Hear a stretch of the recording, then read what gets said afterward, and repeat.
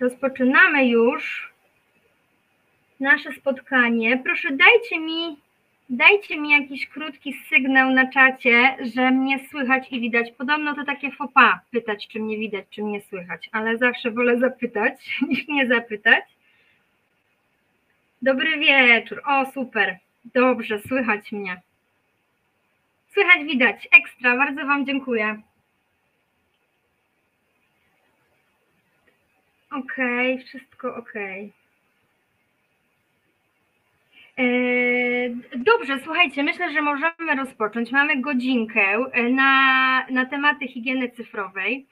Ja się nazywam Sylwia Ryń, jestem trenerką w Niepublicznym Ośrodku Doskonalenia Nauczycieli Cyfrowy Dialog i właśnie z tej, z, te, z tej okazji tutaj dzisiaj jestem, dlatego że w cyfrowym dialogu zajmuję się głównie higieną cyfrową i bezpieczeństwem w internecie, cyberbezpieczeństwem. A ponieważ mamy teraz taki wyjątkowy czas, czas, e, czas Code Weekowy, Code Week 2024, to cyfrowy dialog e, organizuję takie spotkania dla Was i bardzo się cieszę, że znaleźliście czas dzisiaj o 19 późno, e, ale, ale że znaleźliście ten czas właściwie dla siebie, bo temat dotyczy głównie naszego dobrostanu, e, takiego cyfrowego i ogólnego psychofizycznego, bo to się jednak łączy. E, mam nadzieję, że przygotowaliście sobie coś do picia, bo to będzie trochę jak spotkanie e, towarzyskie, miłe i sympatyczne. Doszły mnie słuchy z tajnych źródeł, czyli z Facebooka, że mam tutaj e, dzisiaj na tym spotkaniu osoby, które mnie znają, które, z którymi się znam i to nawet z liceum. Mam nadzieję, że ta osoba, o której myślę tu jest i macham, pozdrawiam serdecznie, ale bardzo się cieszę, że wszyscy się tutaj dzisiaj zebraliśmy. Na razie mamy około 40 osób. Być może jeszcze ktoś dołączy, ale, mm, ale powolutku będziemy sobie lecieć z tematem, bo jest parę rzeczy ważnych do obgadania, parę rzeczy do, do przemyślenia, do przećwiczenia e, i e, chciałabym, żebyśmy ze wszystkim tak, Kasia z pierwszego, tak, super, super Kasiu, bardzo się cieszę, że jesteś. Od razu mi jest tak jakoś lepiej na sercu, że ktoś jest znajomy na tutaj na, na czacie, na spotkaniu. Słuchajcie, patenty na higienę cyfrową. Zaczniemy sobie w ogóle od tego, czym jest ta higiena cyfrowa i po co w ogóle o niej mówimy. E, zwróćcie uwagę, że w, ostatnim czasie, na początku tego roku, e, w mm, priorytetach Ministerstwa Cyfryzacji znalazła się taka pozycja jak higiena cyfrowa. I mam wrażenie, że społeczeństwo się obudziło, po prostu, że coś takiego istnieje i że warto byłoby się tym zainteresować. Bo czym ta higiena cyfrowa w ogóle jest? No, e, jak pytam mojego syna, a wdrażam mu pewne rzeczy na co dzień, jemu i mojej córce, e, z zakresu higieny cyfrowej i mówię mu, Kubusiu, dzisiaj będę prowadziła taki e, webinar dla nauczycieli o higienie cyfrowej. On mówi, mamo, wiem co to jest. Ja mówię, no to teraz mi wytłumacz, daj mi taką definicję, to ja ją przekażę swoim, swoim słuchaczom. Ja mu powiedział tak, cyfrowa higiena to trochę jak taka higiena osobista, mm, ale taka związana z ekranami. I to trochę jest tak, że jak się pojawia, tak jak siedzimy przed komputerem za długo, to pojawia się taki potwór, wyciąga ręce i tak na cały pokój yy, nas pochłania i mu, na cały pokój tak wy, wy, wyciąga te ręce i to ona spochłania, wciąga i mówi yy, przyjaźnij się ze mną, nie miej kolegów i koleżanek, e, graj dużo w gry i tak dalej, i tak dalej. Więc um, muszę Was na sekundkę przeprosić, bo mam mały kłopot. Przepraszam, sekundkę.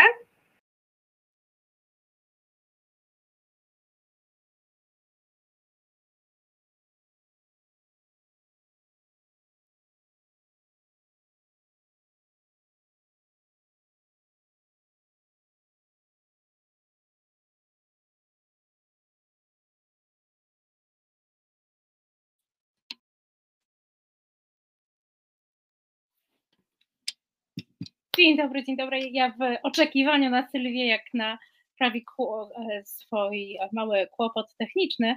Jestem nazywam Barbara Kawaszejew i towarzyszę podczas tego webinaru. O, już jest Sylwia. Za Was przepraszam. Jeszcze się nie zdarzyło tak, żeby było wszystko w 100% dobrze. Techniczne sprawy zawsze się jakieś pojawią, więc ale już jest, już jest sprawa opanowana. E, więc Dobra, to ja znikam, ale jakby coś to jestem. Tak, Wasiu, już jest, ale fajnie, że jesteś w pogotowiu bo to, bo to zawsze bezpieczniej. E, słuchajcie, więc ta higiena cyfrowa jest generalnie po to, żebyśmy sobie na co dzień umieli radzić z ekranami w taki sposób, żeby one nam nie szkodziły, bo technologia generalnie nie jest ani dobra, ani zła, ona jest e, właściwie e, nawet nie neutralna, ona jest po prostu, ona tak na nas wpływa, jak my tym pokierujemy. I tu chodzi o to, żebyśmy my sterowali ekranami, ja mówię tak ogólnie ekranami, ale chodzi mi o tą cyfrową stronę naszego życia, mm, a nie y, technologiami.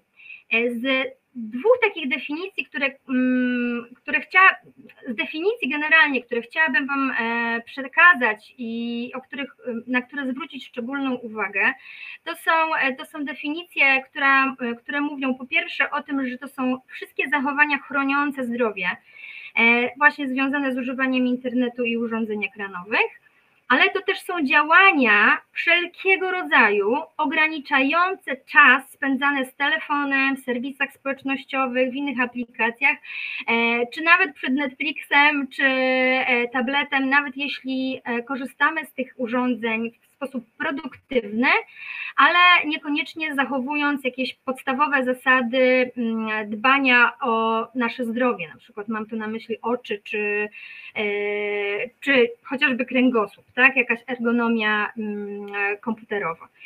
E, to też rozsądne stawianie granic, to też kontrola w używaniu internetu i nowych technologii w ogóle, mając na względzie to, jak ta technologia się rozwija, jak, jak prężnie e, to idzie i w jakim kierunku, mam tu na myśli głównie AI, czyli sztuczną inteligencję, to e, tego będzie więcej i to będzie coraz bardziej gdzieś tam wchodziło w, mm, w nasze życie.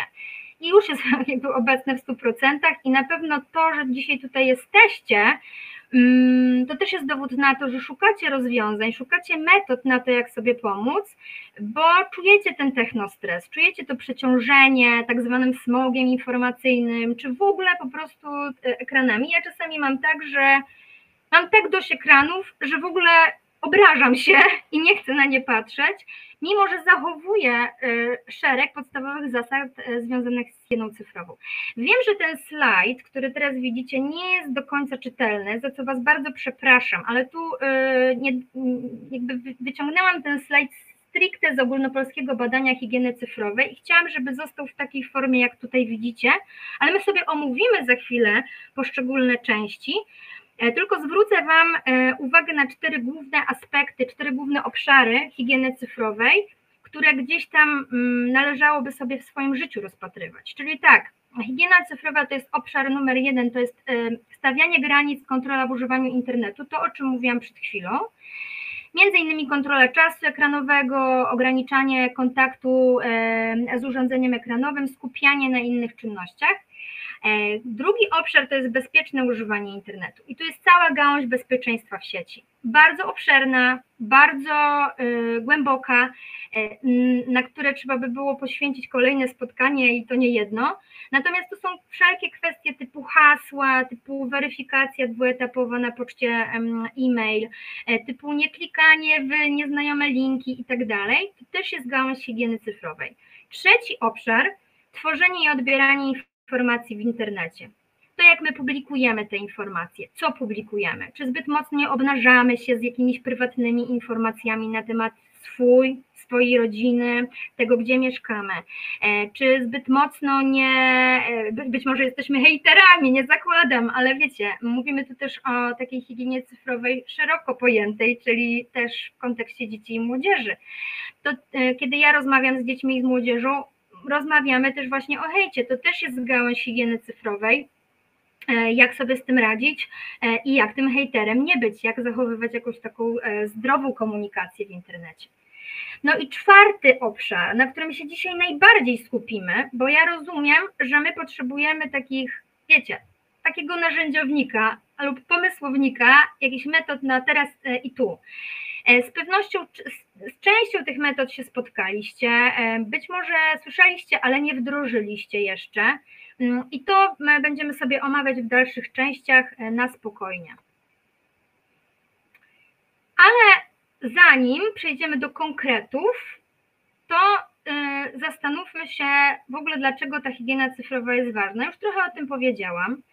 Czyli e, po to, żebyśmy opanowali stres związany z technologią, tak zwany technostres, który nam towarzyszy każdego dnia, szczególnie tym, którzy często i gęsto pracują przed monitorami komputerów. A któż z nas nie pracuje? Któż z nas nie korzysta z tego wspaniałego urządzenia, którym jest smartfon? E, I któż z nas nie, e, nie ma czasami tak, że e, najchętniej wyrzuciłby ten telefon do kosza, bo powiadomienia, telefony i wiadomości, które spływają, zbyt mocno przytłaczają.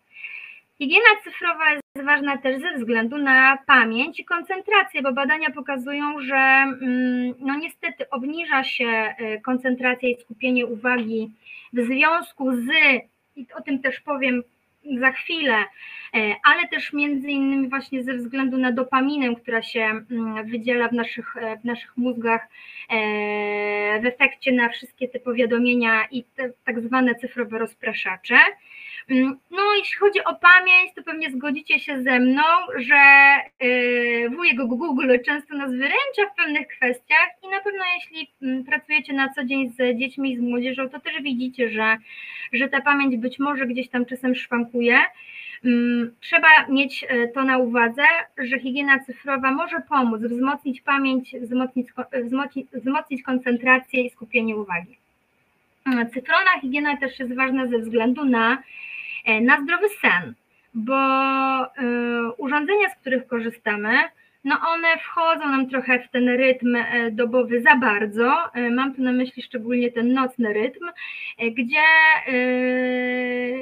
gdzie to przede wszystkim zaburza wydzielanie melatoniny, ale to już to będziemy mówić o tym za chwilę szczegółowo. Natomiast to się też wiąże w ogóle ze zdrowym ciałem, tak? czyli e, ze, ze wszystkimi tymi kwestiami jak wzrok, e, słuch czy, e, czy postawa ciała.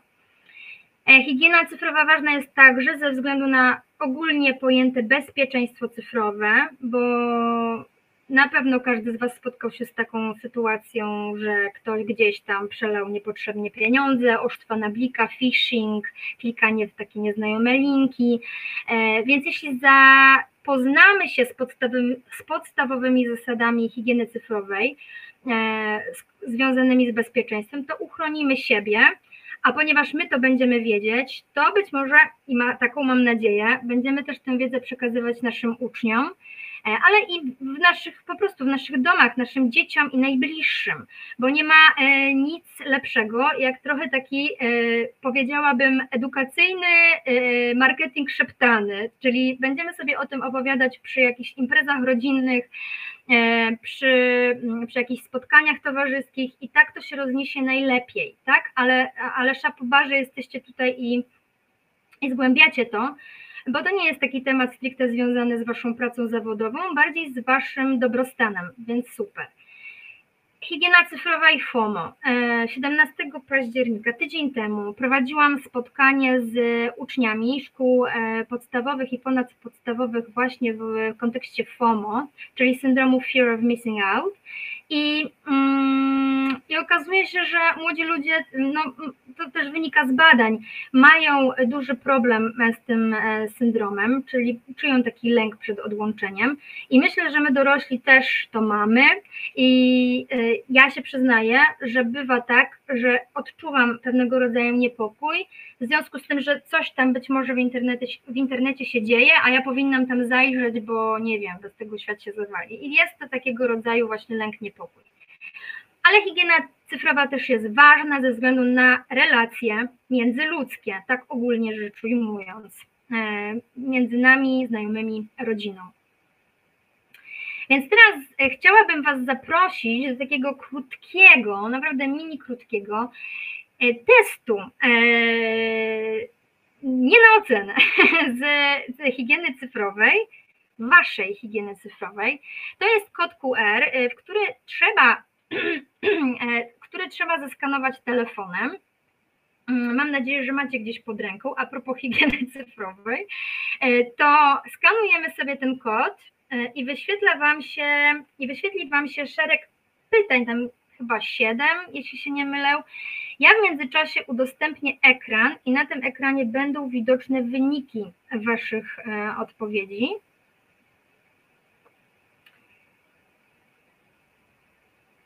W międzyczasie, tylko jeśli Basiu, będę mogła Cię poprosić, żebyś mi głosowo powiedziała, jak udostępnię ekran, czy go, czy go widać, ok? Żebym nie musiała już wracać. Ekran widać, ale tu jest jeszcze prośba o link, gdybyś mogła szerować też link do tego. O, słuchajcie, to będzie problem. Um, ale jeśli ale nie, nie czyta się kod QR, on E, działa, tylko wiecie co? Pisze, Jest że taka nie może zeskanować, a ktoś pisze, że nie działa. Ale jak zrobisz share, to powinieneś też wygenerować e, link. Już tak, już to robię. Nie chciałam tego robić, dlatego że czasami się zdarza po prostu, że coś wyrzuca, ale, ale dobra. Robimy to na szybciutko.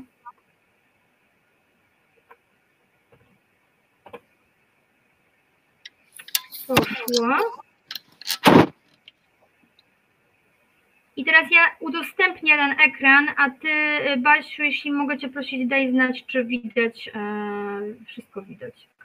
No, widać wyniki. Widać, powinno być ok. Dobrze.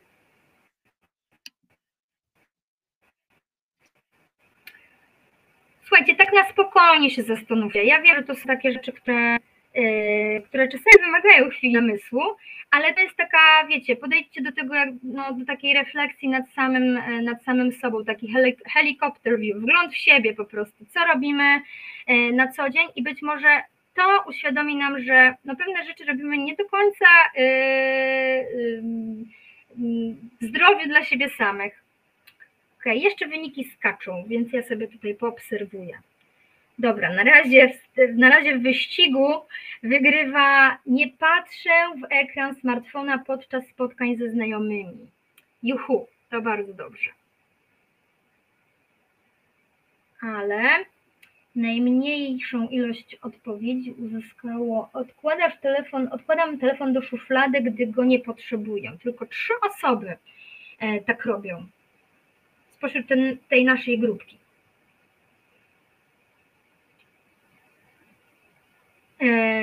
Są takie historie, ja Wam teraz opowiem taką anegdotkę, którą możecie znaleźć w książce Wychowanie przy ekranie. E, To jest książka pani Magdy Bigaj i e, jest tam taka historia e, o telefonie, którym, e, o, o, o serwetce. E, Autorka pisze o tym, że, że klikała w serwetkę e, podczas jakiegoś spotkania towarzyskiego z, ze znajomymi w restauracji i e, serwetka, prostokącik czarny, pomylił jej się z telefonem i w serwetkę kliknęła. Więc być może warto byłoby zabrać z oczu czasem to urządzenie, jeśli nie ma potrzeby korzystania z niego, szczególnie kiedy spędzamy czas z rodziną, prawda? Albo już, już w ogóle z dziećmi. To jest e, super istotne.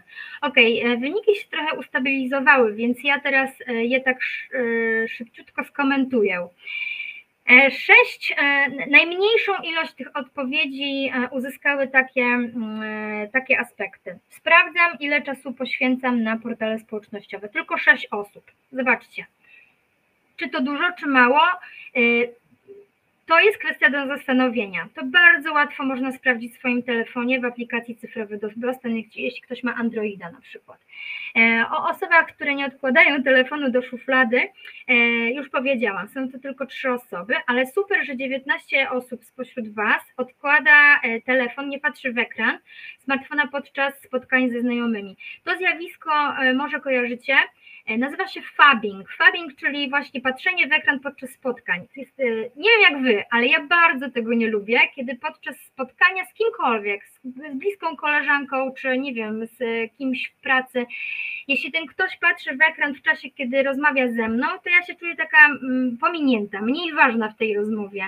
E, To sprawia, że po prostu czuję się, czuję, że to co, ktoś, to, co ja mówię, jest po prostu nieistotne. To jest takiego pewnego rodzaju brak szacunku, ale su- super, że, e, że zwracacie na to uwagę. Nigdy nie korzystam ze smartfona, e, mm, kierując samochodem. 14 osób. Czyli są też takie, które to robią. E, To jest też pytanie, co robimy po prostu w tym telefonie, bo czasami po prostu go podłączamy, jesteśmy na głośnikach rozmawiając z kimś i to pewnie jest e, względnie okej. Może lepiej tego nie robić, ale to wiadomo, że powszechne. Natomiast jeśli jedziemy i jeszcze mamy z tyłu dzieci i patrzymy w telefon po prostu, bo trzymamy go pod kierownicą, to już nie jest okej. To są zachowania ryzykowne, w związku z czym ta higiena cyfrowa tu powinna mocno wejść. E, Regularnie używam aplikacji. mm, e, mam troszeczkę mniejszy ekran, dlatego tak zaglądam, e, z których już nie korzystam. e, Aha, e, regularnie usuwam aplikacje, pliki, programy, z których już nie korzystam, ze smartfona lub z komputera. To trochę jest, słuchajcie, jak z szafkami w kuchni. Jeśli raz na jakiś czas nie zrobimy porządku, to robi nam się chaos i nie możemy nic znaleźć, a potem odnajdujemy, ale rzeczy przeterminowane. Więc podobnie jest ze zdjęciami. Dzisiaj nie jesteśmy a właściwie jesteśmy przyzwyczajeni do tego, że robimy 50 ujęć tej samej rzeczy, e, a być może powinniśmy zrobić jedno albo dwa i spośród tych dwóch wybrać jedno, albo ewentualnie zrobić 10 i 9 usunąć. E, To są dodatkowe zadania, które sami sobie generujemy. Ja od jakiegoś czasu uczę się po prostu, że jeśli jestem w jakiejś tam sytuacji tu i teraz i robię zdjęcie, to robię jedno, dwa um, um, ujęcia maksymalnie. Regularnie aktualizuję telefon 17. To jest bardzo ważny aspekt higieny cyfrowej od gałęzi bezpieczeństwa w internecie, bo aktualizacje niezrobione to trochę jak wpuszczenie wirusa taką wielką furtką do naszego telefonu. Wszystko, co nie jest zaktualizowane, e, jest otwarte i łatwiej dostępne przez hakerów, przez oszustów, więc tu zwróćcie na to szczególną uwagę. Yy, bo ta aktualizacja robi się bardzo prosto, raz na jakiś czas, jak wejdzie to w nawyk, to już jest super. I nie korzystam z telefonu na godzinę przed snem, tylko pięć osób. A to a propos tego snu, o którym mówiłam przed chwilą, yy, ma to zasadnicze znaczenie dla naszego zdrowia psychofizycznego. Ok, ja wrócę do prezentacji. Basiu, znowu Cię poproszę, czy, żebyś mi dała znać, czy będzie wszystko ok. Jest ok. Powinno być ok.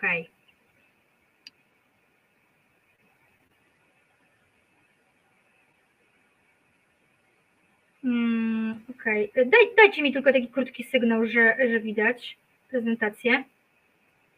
Widać, widać, jest ok. Widać, ok, dobrze, dzięki.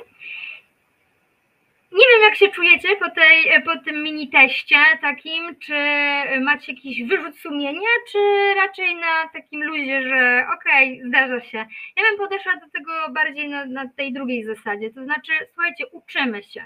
My się wszyscy tego dopiero uczymy.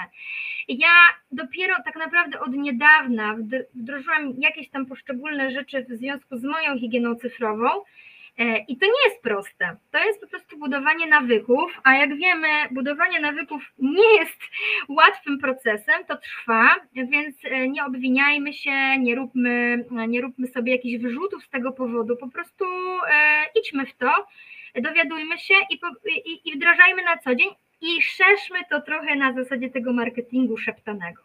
Ale teraz jeszcze zanim przejdziemy do tych konkretnych sposobów, Chcę Wam wyjaśnić mechanizmy uzależnienia w kontekście właśnie y, używania y, urządzeń cyfrowych, ale one się dużo będą wiązać z, bardzo wiązać z y, między innymi social mediami. Zobaczcie, niestety nie, to jest statyczna prezentacja. W oryginalnej te chmurki, te serduszka i dzwoneczek, wszystko tutaj się rusza, co miało pokazać Wam mm, jak, jak mocno, jeśli na coś patrzymy, a to się rusza, skacze i wiruje, jest kolorowe, to nas rozprasza. Wszystkie mm, powiadomienia, wszystkie wiadomości, wszystkie lajki, wszystkie mm, komentarze, które e, widzimy w social mediach, e, to są tak zwane dopaminowe nagrody. E, śmiechem, żartem dopamina się dopomina o więcej cały czas. Co to znaczy? To znaczy, że my chcemy za każdym razem więcej. Ale czym jest ta dopamina? Za chwilę powiem dokładnie, ale ona się wiąże ściśle z układem nagrody w naszym mózgu. Czyli za każdym razem, kiedy dostajemy to powiadomienie, to e, następuje wyrzut dopaminy A dopamina jest neuroprzekaźnikiem, który ma skierować naszą uwagę na coś, co jest przyjemne. Czyli my kojarzymy powiadomienie z czymś przyjemnym i nasz mózg już nie jest w stanie odeprzeć tego ataku i jeśli nie sprawdzę, co tam ktoś napisał, to nie spocznę. Po prostu mózg ma nieskończone zadanie i myśli sobie, muszę to sprawdzić, bo jak nie sprawdzę, to będę niespokojny, prawda? A propos tego FOMO, e, syndromu, mm, e, syndromu FOMO. Więc za każdym razem zwróćcie na to uwagę, czy jesteście w stanie odeprzeć ten atak e, powiadomieniowy, że to tak nazwę. Bo jeśli nie, to, to ta lampka kontrolna powinna się gdzieś tam już zapalić, że trzeba wykonać jakieś kroki, żeby sobie pomóc. Potem powiemy, co konkretnie. Dobra, to jest jakby pierwszy mechanizm uzależnienia. E, Kasia, co do powiadomień, to musiałam je włączyć, bo czułam się ciąg... dokładnie. Ja mam to samo, bo, e, bo w pewnym momencie człowiek nie jest w stanie już, e, jakby mózg, mm, to nie jest tak, to jest jak gąbka, w tym sensie, że gąbka też ma jakąś swoją określoną pojemność, w takim sensie, że jest w stanie unieść ileś wody, potem już wszystko kapie tak samo jest z nami. Nie jesteśmy w stanie tego wszystkiego przyjąć e, bez uszczerbku na naszym zdrowiu. To jest po prostu niemożliwe. Dlatego musimy się ratować i higiena cyfrowa właśnie o tym nam mówi. Ja Wam za chwilę powiem, co dokładnie tam trzeba włączyć i wyłączyć, ale e, to za chwilę. Drugi mechanizm uzależnienia, mm, o którym warto wspomnieć, to są tak zwane algorytmy personalizacji. I tutaj wyszczególniłam Wam dwie rzeczy. Pierwsze to są bańki informacyjne. W social mediach poruszamy się w tak zwanych bańkach informacyjnych. Co to znaczy? To trochę jest tak, że jak siadamy e, przy stole z jakimiś znajomymi i e, nie lubię tematu polityki, ale trochę Wam jakby spróbuję wytłumaczyć na, na tym przykładzie. Jeśli dwoje, e, e, dwie osoby spotykają się i zaczynają rozmawiać o polityce e, i kłócić, prawda, bo mają inne zupełnie poglądy, to być może zdarzyło się, że jedna osoba siedzi sobie w swojej bańce informacyjnej w social mediach i pobiera informacje polityczne z tej bańki, a ktoś inny pobiera z innej bańki. Dla każdego jego bańka jest jedyną bańką, jedyną bańką prawdy. Więc ja myślę, że wy sobie zdajecie z tego sprawę, że, no bo mówi się dużo o dezinformacji, że w internecie jest dużo nieprawdziwych informacji, jest dużo fake newsów, że, że trzeba uważać, co się czyta, że trzeba weryfikować treści. Ale kto to robi tak naprawdę, prawda? E, czy jak wyświetli mi się coś na Facebooku, takiego średnio istotnego, ale jednak wpływającego jakoś na mój stan emocjonalny, to czy ja podejmuję próbę w ogóle weryfikacji tej informacji, żeby sobie wytłumaczyć, nie, no to jest fake news. Nie, ja po prostu to omijam, zostawiam. Ale prawda jest taka, że gdzieś to zostaje w mojej głowie, w związku z czym ja się zaczynam obracać w tej bańce, algorytmy wiedzą, w co klikamy. Wszystko, co robimy w internecie, jest e, w pewien sposób personalizowane pod nas i, e, i to jest tak, że mm, w pewnym momencie my, i tutaj nawiążę teraz do algorytmów traumy, widzimy właściwie to, co chcemy, co jakby daliśmy informację algorytmowi, że czymś się interesujemy i on nam potem podsuwa pewne rzeczy, którymi się nie interesowaliśmy, ale wiążą się z tą pierwszą rzeczą i zaczyna się i zaczynają wzbudzać, nas, e, wzbudzać w nas pewnego rodzaju lęki. E, chodzi mi tutaj o na przykład takie rzeczy, pokażę Wam taki slajd z reklamami. Zwróćcie na to uwagę, jak będziecie scrollować swoje sociale. Czy tam nie ma takich reklam, które wzbudzają w Was pewnego rodzaju jakiś niepokój, strach czy lęk? E, czy tam się nie pojawiają jakieś kwestie chorób? E, czy to nie będzie dotyczyło przypadkiem Waszych dzieci, bo nagle się okaże, że E, że wyświetla się reklama jakiego, jakiejś choroby nieuleczalnej. To są wszystko rzeczy, z którymi Fundacja Panoptykon walczy, bo to od nich wyszła ta nazwa algorytmy traumy. Oni zrobili takie badanie. I okazuje się, że nawet jeśli klikniemy na Facebooku, tam w ustawieniach w opcję taką, żeby nie, Facebook nie pokazywał nam pewnych treści, to za jakiś czas Facebook znowu nam te treści pokazuje. Czyli w jakimś sensie jesteśmy trochę bezbronni. Nie mając wiedzy, że takie algorytmy traumy i te bańki informacyjne istnieją, jesteśmy bardziej podatni na tą manipulację coraz bardziej e, to wpływa na nasze zdrowie, głównie psychiczne e, i nie do końca sobie czasem z tym radzimy. To też jest ważna informacja dla młodych osób, bo, y, bo często młode osoby po prostu o tym nie wiedzą, mimo różnych projektów edukacyjnych, ale mm, wiecie, taka domowa edukacja naszych własnych dzieci, e, uczniów e, jest na wagę złota.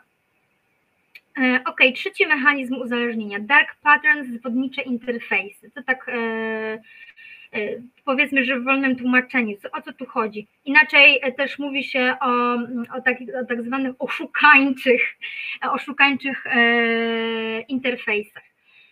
Mm, to są takie rzeczy, które na, co dzień, na które na co dzień nie zwracamy uwagi, ale one są i one są też po coś. Warto wiedzieć.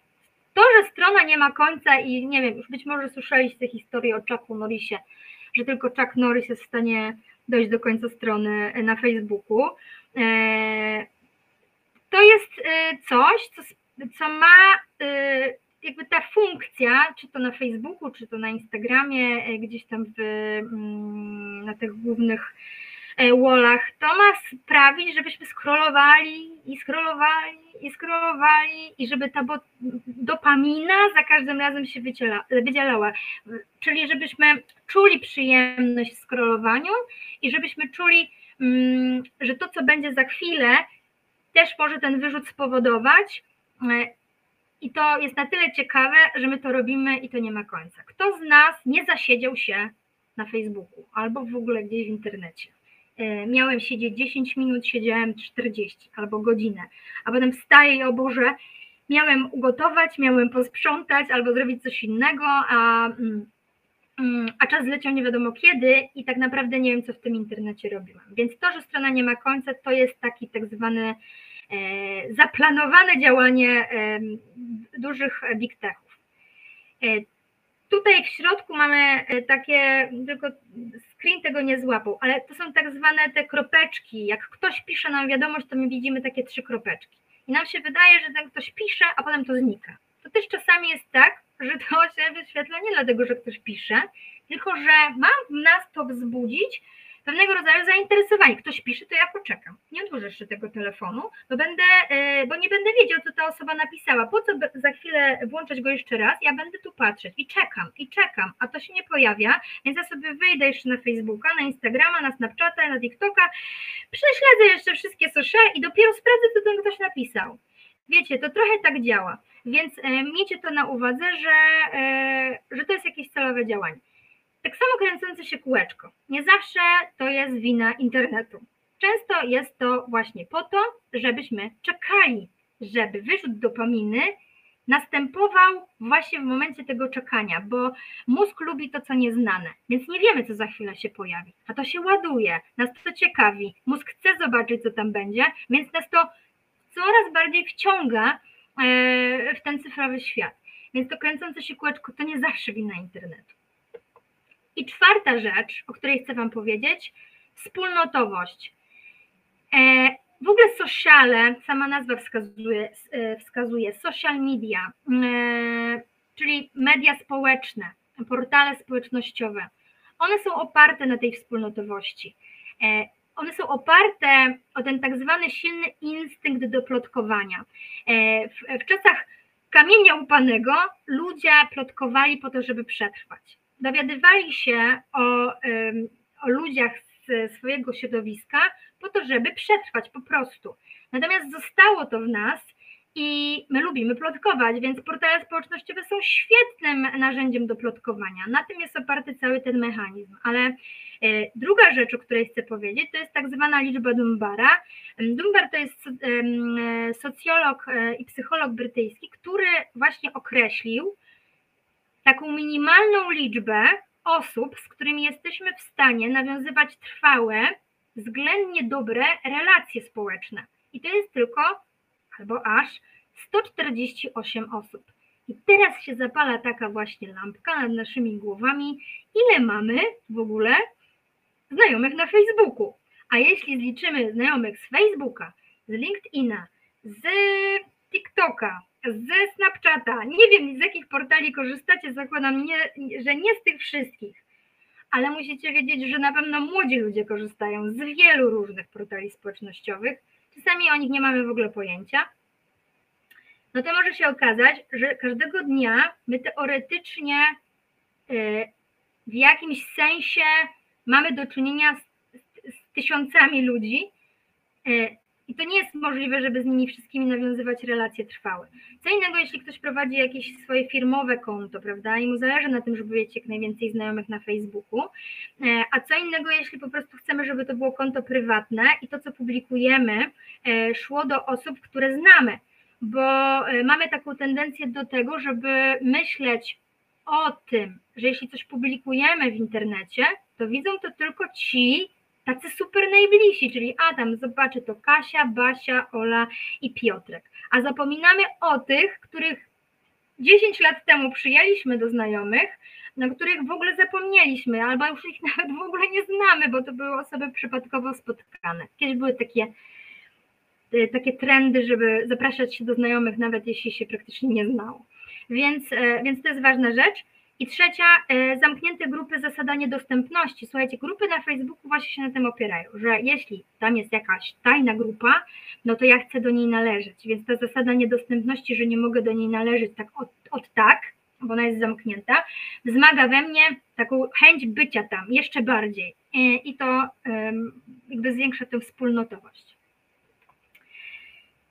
Dobra, to teraz przechodzimy do konkretów, takich super konkretów to, o czym już trochę powiedziałam.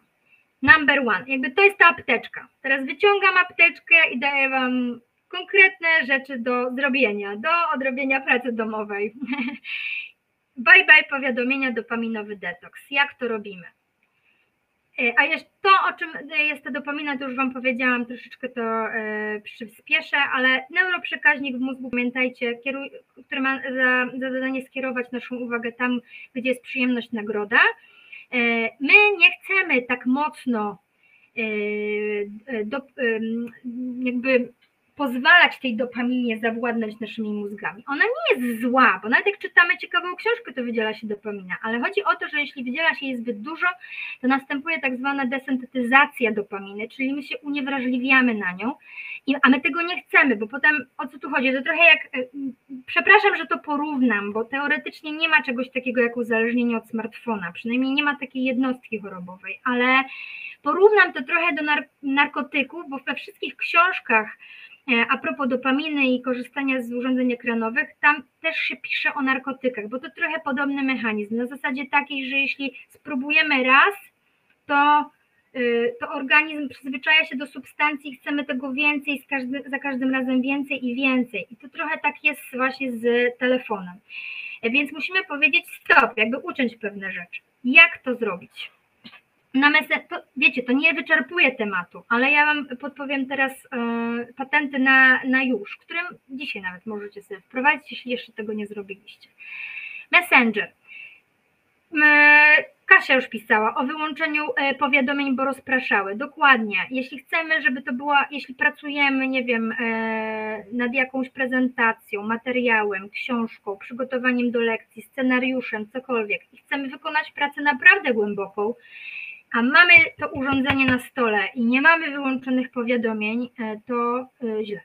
To znaczy, że praca głęboka zapewne e, odejdzie gdzieś daleko i będziemy zbyt rozproszeni, żeby cokolwiek zrobić. A mózg za każdym razem, kiedy sprawdzi to powiadomienie i wraca do czynności, do czynności, którą robił, potrzebuje chwili czasu, już nie pamiętam dokładnie, ale to nie jest kwestia sekundy, tylko co najmniej kilkunastu sekund na to, żeby się przestawić. Więc wyłączenie tych powiadomień albo zarządzanie nimi w miarę potrzeby, czyli jeśli dzisiaj pracuję, potrzebuję się skupić, wyłączam na godzinę, na dwie, na, na pięć, to jest, to jest ważna, e, fajna metoda i ważna rzecz. Możemy też, i ja to testuję od pewnego czasu, bardzo mi się to sprawdza, słuchajcie, Messenger, e, wyłączyć potwierdzenia odczytu. To w kontekście prywatności i bezpieczeństwa. E, Tam jest taka, jak wejdziecie sobie w Messengera i w ustawienia, tam jest taka rzecz mm, jak e, potwierdzenie odczytu. Wydaje mi się, że jak wpiszecie w lubkę w telefonie, to też Wam to e, powinno wyskoczyć. Otóż o co tu chodzi? Chodzi o to, że jak piszecie do kogoś, to yy, być może, ja tak kiedyś miałam, z utęsknieniem czekamy, aż wyświetli się tam ikonka tej osoby, że ona to przeczytała. A jak już przeczytała, to ja czekam, kiedy ona odpisze. A jak nie, odpisu, nie odpisuje, to się niecierpliwię albo zastanawiam, a nie odpisuje, bo co? Bo, bo nie wie, nie zna odpowiedzi na to pytanie, czy nie odpisuje, bo nie wiem, zakładam, że jestem e, nastolatką, bo mnie nie lubi, e, nie odpisuje, bo, bo mam nie w nosie. E, stwarza to tylko, jakby generuje to niepotrzebny niepokój, właśnie znowu w kontekście FOMO. Więc to jest fajne, ale z drugiej strony, jak ktoś do nas napisze, a my to odczytamy, niechcący, gdzieś w ogóle w takim momencie, w którym nie powinniśmy odczytywać, nie daj Boże w trakcie jazdy samochodem, to jak zobaczymy tę wiadomość i się tej osobie wyświetli nasza ikonka, to my się czujemy zobowiązani, że trzeba odpisać, bo ktoś to zobaczy, że ja odczytałam, no to jak nie odpiszę, no nie będę zwlekać, więc to trochę taka smycz, nie, że e, zmusza nas to, taką presję wywiera na nas, że my musimy to zrobić. Warto to zrobić, testuję to e, i ekstra, bo ja już się teraz przyzwyczaiłam, że w ogóle ja nie widzę, czy ktoś odczytał i ktoś nie widzi, czy ja odczytałam. I, i jakby jest sprawa załatwiona, odpisuję wtedy, kiedy mogę. Ale takie same rzeczy możemy zrobić na Facebooku, na Instagramie, TikToku, Librusie. Generalnie nie musimy być cały czas uwiązani tymi narzędziami, tymi portalami, czy e, e, w kontekście Librusa to też jest ważne. Niektórzy mają aplikacje w telefonie. Z jednej strony dobrze, bo jesteśmy na bieżąco, ale z drugiej, kurczę, cały czas tam coś jest. I jeszcze pytanie, jak e, tym Librusem zarządza nauczyciel e, czy szkoła, bo może się zdarzyć, że raz na jakiś czas tylko wysyła wiadomość, ale może się zdarzyć, że wysyła bardzo, bardzo często i w ciągu dnia wyskakuje nam ilość powiadomień z samego Librusa. Lećmy dalej. Modlitwa do ekranu. Sen. I tutaj jest ta melatonina, kortyzol i grelina. Już tłumaczę, już spieszę z wyjaśnieniem. Melatonina, hormon snu w momencie, kiedy patrzymy na ekran tuż przed snem, tuż mam, nadzieję, mam na myśli tak co najmniej e, mm, tak do godziny, to e, hamuje się wydzielanie melatoniny, czyli hormonu snu, w związku z czym gorzej jest nam zasnąć, ale to nie tylko tyle, bo w ogóle jakość snu się obniża, a rano jesteśmy mniej wypoczęci, bo, e, bo, bo jakość tego snu była kiepska, w związku z czym no nie najlepiej dla nas i dla naszego zdrowia psychicznego, ale i fizycznego. Co do kortyzolu, teraz tak, wyobraźmy sobie sytuację, że leżymy w łóżku i scrollujemy sobie z, z Facebooka i natykamy się właśnie na te niefajne y, wiadomości. Jakiś czas temu w kontekście pandemii, wojny, nie wiem, wszelkiego rodzaju chorób, coś czego nie chcemy po prostu czasami widzieć lub słyszeć ale się natkniemy i już kortyzol, czyli hormon, e, hormon stresu, wydziela się i my mamy problem z zaśnięciem. Znowu to się krzyżuje. Natomiast grelina to jest hormon głodu i teraz jeśli mocno sobie to, e, jeśli mocno nam wejdzie to scrollowanie nocne, to może się okazać, że wydzieli się, wydzieli się sporo tego hormonu greliny i będzie nam się chciało jeść. E, więc to nie jest tak, że po prostu siedzimy i nagle no, zgłodniliśmy, bo minęło kilka godzin. To, to być może też, ale to też dlatego, że ekrany wy, y, pomagają w wydzielaniu, w wydzielaniu tej greliny. I to jest tak, z tych patentów. Włącz filtr światła niebieskiego w telefonie. To jest jakby ważna rzecz. E, mam na stale wyłączony filtr, mam na stale włączony filtr światła niebieskiego, w związku z czym mój ekran jest taki trochę żółtawy do czego się przyzwyczaiłam. Oczywiście w momencie, kiedy jestem gdzieś na dworze i jest mega słońce, no to jest to kłopotliwe, ale umówmy się, że w, w naszej tu strefie aktualnie i porze roku to nie ma jakiegoś większego znaczenia. Warto to zrobić, e, chroniąc nasze oczy, ale też chroniąc właśnie, e, e, jakby zapobiegając hamowaniu wydzielania tej melatoniny tuż przed snem. E, więc e, można też e, włączyć tryb zasypiania na jedną godzinę przed snem, co oznacza, że telefon Wam się wyszarzy.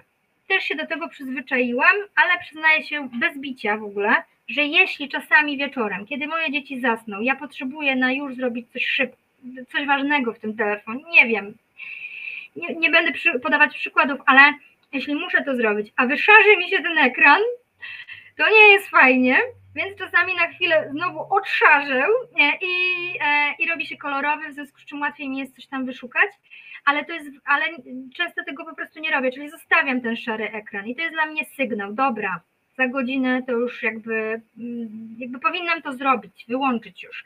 Mi się o 22 akurat ten ekran wyszarza. Wy sobie możecie ustawić jaką chcecie godzinę, ale to też jest jakieś narzędzie pomocne.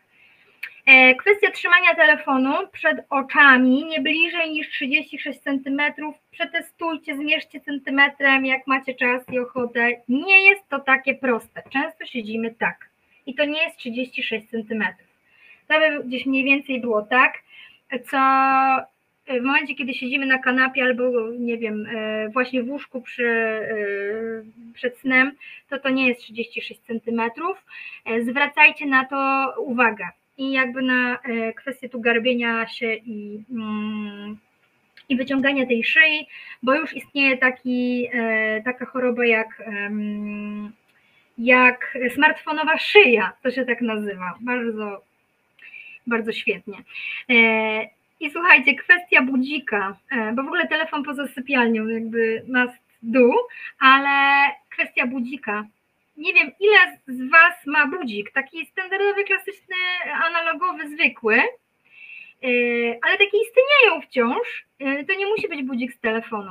Bo co to oznacza, że albo wieczorem, wiecie, patrzycie mm, w ten ekran telefonu i to nas jakby trochę mm, do tego E, patrzenia zmusza, że no dobra, nastawia budzik, o ktoś napisał, o no to ja odpiszę i to znowu się przeciąga, a rano z kolei w drugą stronę, ale tak samo, dzwoni budzik, ja patrzę, o ktoś napisał do mnie tam, nie wiem, wczoraj wieczorem jeszcze, ja tego nie zauważyłam i muszę to odczytać, a to będzie jakaś niefajna wiadomość, więc zaczynam dzień w ogóle na nie, bo, było, bo, bo wiadomość mnie nastroiła negatywnie.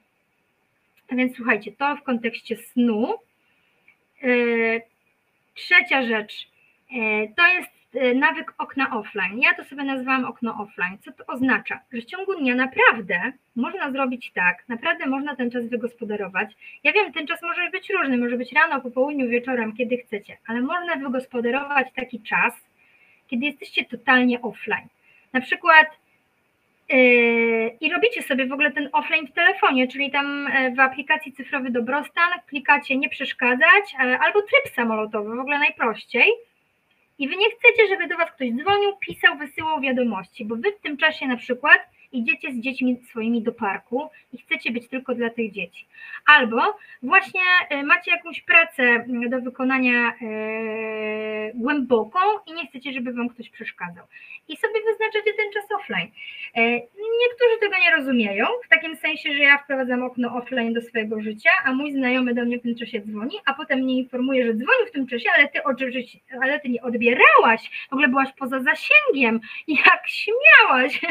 To jest trochę na takiej zasadzie, ale ja swoich znajomych już trochę przyzwyczaiłam, że czasami tak bywa, że nie odzwania mnie, odpisuje i że mnie nie ma. I to jest ok, pod warunkiem, że to yy, no, jest zgodne z wami i z tym, jakby yy, żyjecie, bo czasami po prostu potrzebujecie mieć takie informacje na bieżąco. Yy, nie wiem, w kontekście rodziny, tak, coś się dzieje, więc e, to w zależności od sytuacji życiowej. Ale nie bójcie się tego, i uczcie swoich bliskich, że tak można robić. Czwarta rzecz. E, kiedyś, e, kiedyś jak e, pracowałam, byłam jeszcze w liceum, pomagałam mojej mamie w pracy i jej pracodawca często używał takiego sformułowania. Czystość i higiena obowiązkiem każdego obywatela. Bardzo mi się to zapamiętało i bardzo mi to ładnie się wpisuje właśnie w kwestię takiego e, porządkowania swoich urządzeń ekranowych, e, porządkowania swojej poczty, e, e-mail, czy właśnie swoich zdjęć, filmów, plików na telefonie. To jest ważne, bo w momencie, kiedy mamy tego za dużo, to nie dość, że to nam utrudnia czasami życie, bo zapchany telefon to na przykład niemożność wysłania maila z załącznikiem, Jeśli mieliście kiedyś taką sytuację, że wy chcecie wysłać maila z załącznikiem, a on wam wisi w skrzynce, że, że, e, że jeszcze nie wysłane i czeka na nadanie, to być może problemem jest właśnie to, że macie zapchaną e, pamięć w telefonie i trzeba e, po prostu wyrzucić trochę rzeczy z telefonu.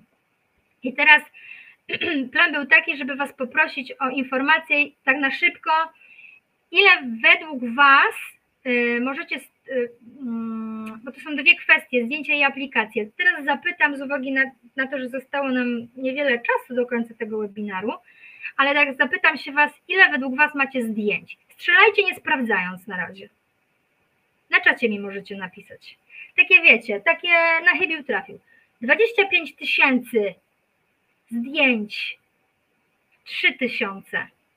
I wy mi teraz y, czarujecie, dobra, bo ja nie znam tego, wy, wy też pewnie nie wiecie, że mam taką nadzieję, a potem sobie wchodzicie w telefon i sprawdza, sprawdzacie, weryfikujecie. Taki podobny eksperyment możecie zrobić z aplikacjami, bo y, wiele osób mówi, że ma tylko kilka aplikacji na telefonie, a niektóre mówią, że mają e, setki y, aplikacji na telefonie. Jaka jest prawda? Możecie to sprawdzić bardzo łatwo, jak wejdziecie w telefon w ustawienia, to tam w lubkę wpisujecie aplikację i wam wyskoczy czarno na białym, ile macie tych aplikacji. Ale to też jest ważne, bo nie, z niektórych w ogóle nie korzystamy. Być może trzeba je po prostu usunąć. 400. To jest spoko wynik 400, ale 25 tysięcy to już jest trochę zastanawiające. Dużo. E, ale jak jeszcze możemy te porządki robić? E, metoda Inbox Zero, czyli e, opróżnienie skrzynki mailowej i jakby kategoryzowanie sobie tych maili. Jako nauczyciele zakładam, że na Waszych skrzynkach jest dużo różnych materiałów, z różnych newsletterów, z różnych grup, e, pościąganych jakichś rzeczy, plików, PDF-ów. Warto to sobie uporządkować w jakieś foldery. Ja wiem, że to wymaga czasu też czasami siadam i jakby tylko na to się koncentruję, ale to naprawdę sprawia, że człowiek się taki lżejszy robi. E, ważne jest skanowanie i e, optymalizowanie telefonu, to w kontekście bezpieczeństwa i to jest też w kontekście aktualizacji, o których Wam wcześniej wspominałam, mega istotna rzecz. Fajnie jakby weszło Wam w nawyk. Usuwanie nadmiaru zdjęć, filmów i dokumentów, ale uwaga, ważna rzecz, kosze także Czyli usuwamy z, tam powiedzmy z folderu zdjęcia jakieś zdjęcia, no ale one się usuwają do kosza. Ja wiem, że to jest takie trochę logiczne, ale nie zawsze o tym pamiętamy. One się usuwają do kosza, kosz też opróżniamy, bo on też zajmuje pamięć. Ale druga rzecz, e, dokumenty, to już jest co innego, prawda? Wchodzimy w, do, w, w pliki nasze na smartfonie na przykład i tam te dokumenty kasujemy, one też wpadają do kosza i z tego kosza też usuwamy. Więc pamiętajcie o, tym, e, o tych dwóch e, rzeczach, jak kosz. E, um, ok, tu już powiedzieliśmy sobie o aplikacjach. E, co jeszcze? Warto wyłączyć status aktywności w Messengerze. To jest trochę co innego niż potwierdzenie odczytu. Status aktywności mówi innym, czy jesteśmy aktualnie dostępni, czy nie. Czy my zawsze potrzebujemy wiedzieć, E, czy nasi znajomi są online, czy i nasi znajomi potrzebują wiedzieć, że my jesteśmy online. Może nie zawsze byśmy chcieli. Może zdarzyło nam się tak, że weszliśmy na chwilę na Messengera, bo coś tam, a ktoś zobaczył, że jesteśmy online i do nas pisze już z jakimiś sprawami. To też nas w jakimś sensie absorbuje i to e, generuje w nas jakiś dodatkowy stres, w związku z tym, że w danej chwili nie możemy akurat pisać i musimy się tłumaczyć, że nie możemy pisać. To też jest super istotne. E, jak to zrobić? Oczywiście w ustawieniach Messengera e, wyłączamy status aktywności i mamy sprawę załatwioną. E, nie musimy całego świata o tym informować, czy, czy jesteśmy, czy nie. Tu jest jeszcze ważna rzecz, higiena cyfrowa, a komunikacja z rodzicami. E, jako nauczyciele na pewno wiecie, że ta komunikacja drogą online'ową, drogą telefonową, e, ona się odbywa po prostu, ona jest też potrzebna. Natomiast e, są różne metody, różne szkoły i różne podejście do tego tematu i wszystko w zależności od tego, jak wy się z tym czujecie i na ile jesteście, mm, że tak powiem, tolerancyjni albo gdzie są wasze granice.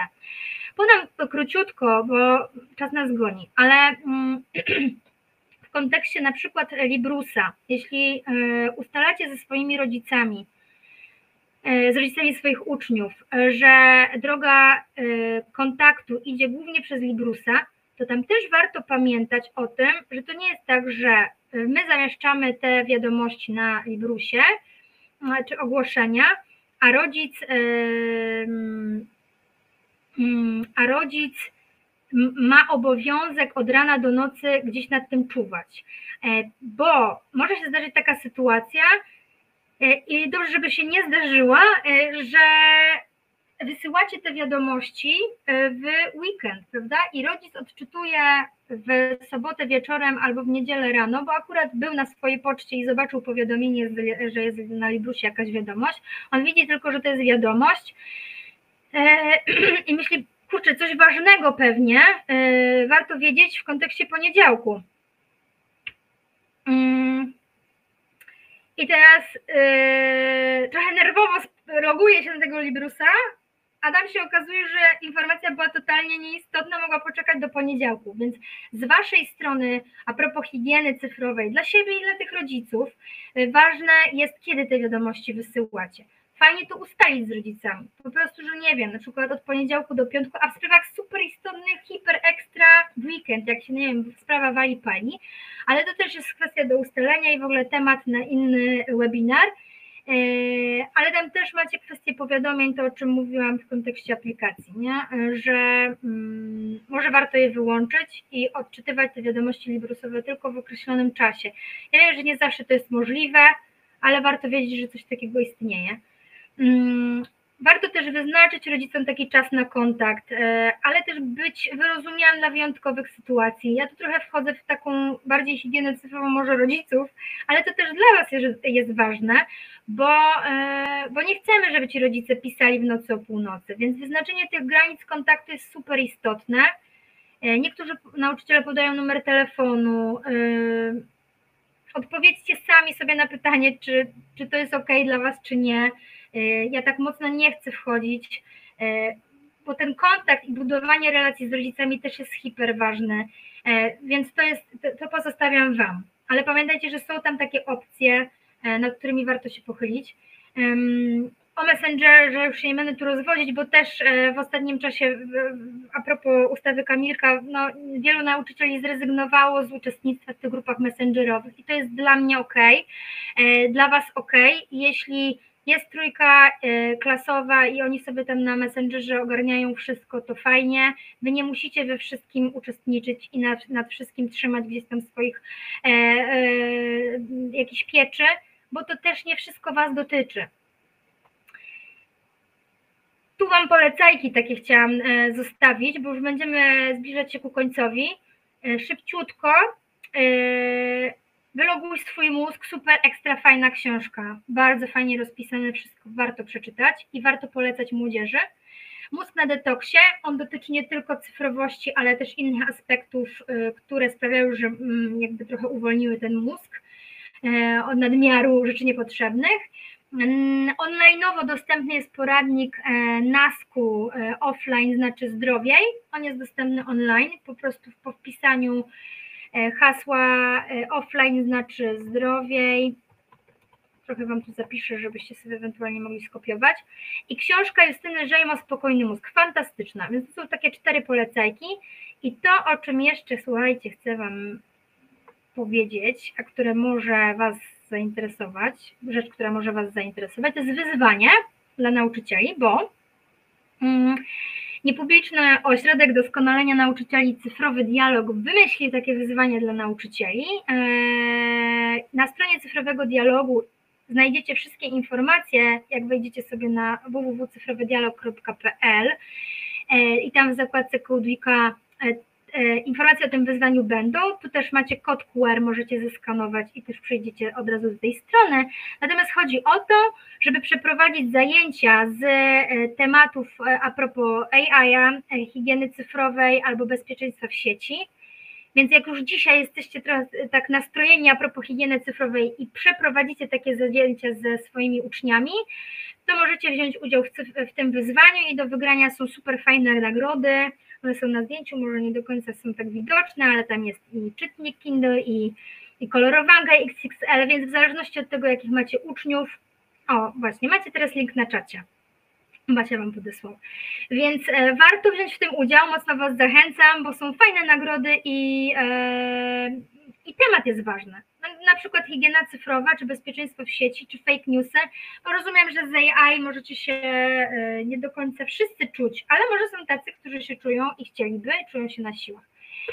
I Gdybyście mieli ochotę, a do czego Was mocno zachęcam, to na jutro możecie zapisać swoje klasy na ekstra fajne spotkanie z edukatorką e, Joanną Apanasewicz, która zabierze dzieci do takiej wirtualnej klasy w Minecrafcie. Możecie zapisać całą swoją klasę i połączyć się zdalnie.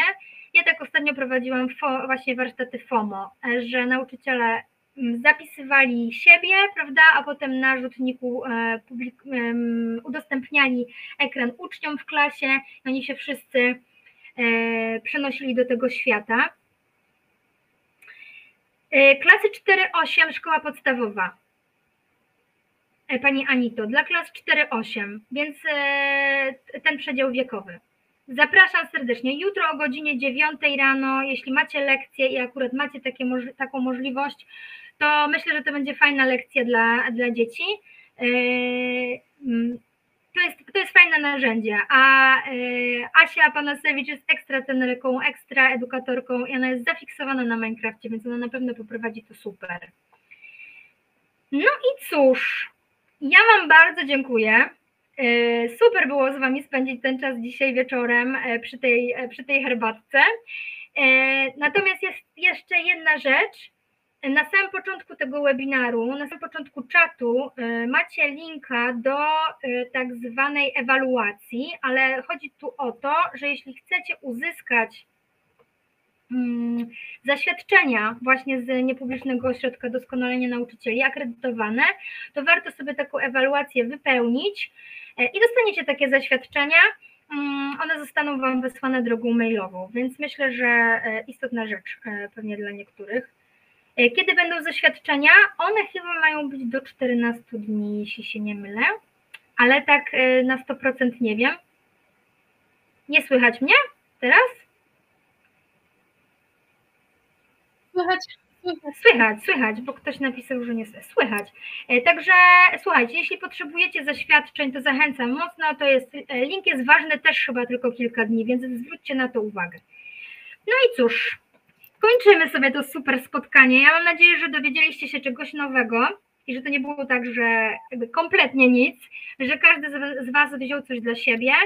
E, I trzymam za Was mocno kciuki za budowanie zdrowych nawyków cyfrowych i za to, żeby przekazywać tę wiedzę dalej e, wśród swoich uczniów, bo to jest super istotne dla nas wszystkich.